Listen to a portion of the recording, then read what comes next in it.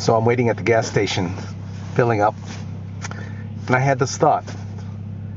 The other day, when I said that compelling and meaningful should be connected, I thought I was doing you a favor, you know, by being more specific about what compelling means. Now, you know, I was connecting it to meaningful.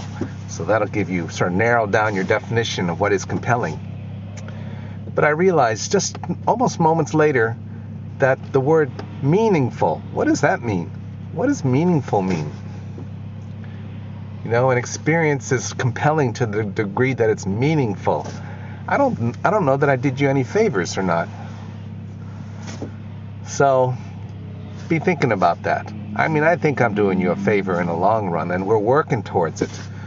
But be thinking about it. I'll be making another video soon, but in the meantime, what does it mean for an experience to be meaningful? I know it means full of meaning, but think about that.